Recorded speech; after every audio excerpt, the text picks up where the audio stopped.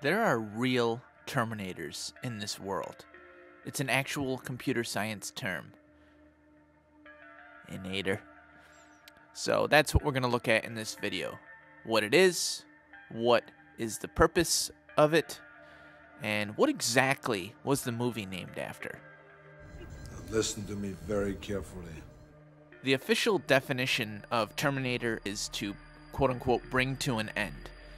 It's a word that's used in a variety of different disciplines, from genetics to astrophysics to even some software applications. So I'd like to narrow down our focus and look at specifically electronic terminators that are found in computer hardware, the kind that you can touch and feel.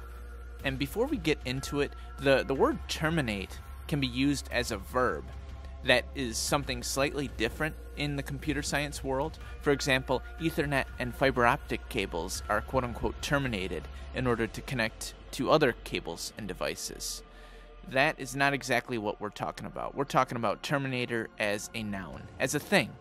And as a thing, it's used in many different networks and other digital communication lines. When you get right down to it, it is all about signal integrity. If you have a, a pathway, let's say it's a wire, you have a signal that's sent from one end to reach the destination of the other end. If the signal is allowed to, it will naturally bounce off the end and go back to the beginning and, and back and forth. And that's where the terminator comes in. It prevents distortion or loss caused by signal reflection. Without terminators, it would be chaos. They are very helpful and basically say to data on a wire my mission is to protect you. You can think of Terminators in this sense as sort of like if you think about a recording studio where there's sound absorbing panels on the walls in order to keep the sound crisp. That is sort of what a Terminator does, but with digital data. They come in all shapes and sizes and are mostly found in Ethernet networks and computer buses. By the way, all this information, because it's digital, is ones and zeros, but not even ones and zeros. It's just on and off signals. And not even on and off signals, it's just on signals and the lack of signals. Anyway, that's neither here nor there. Um, let's get on to a real example. So you have SCSI, which SCSI stands for Small Computer System Interface. And this is an older set of standards for physically connecting and transferring data between computers and peripheral devices. SCSI chains are where I first heard about terminators for real, and that's because they require one terminator at the end of the chain. This is just one example of a terminator, and there's all kinds of different types of terminators. They can be passive, such as a simple resistor, or active, which is slightly more complicated, which would be something like a voltage regulator. And it gets more complicated than that. There's forced perfect termination, where it locks a signal between two actively regulated voltage levels. Now, why did James Cameron, who wrote the script for The Terminator in 1982, choose the word Terminator?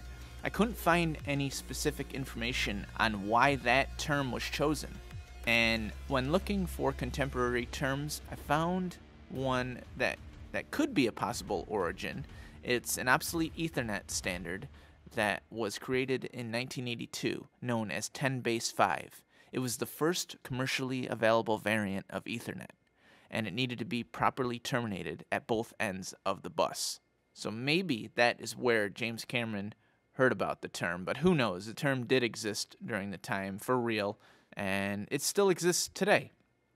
You can find it in networks, and the fact is, you can't reliably send digital signals across a bus without properly terminating them once read. Why? Because you just can't, okay? Trust me on this. Thanks for watching today's video. I had fun making it, and I hope it helps you understand this particular term in computer science. If you have any other ideas of things you want to know more about, please put them in the comments. I'm happy to look into it. But uh, either way, I'll be back.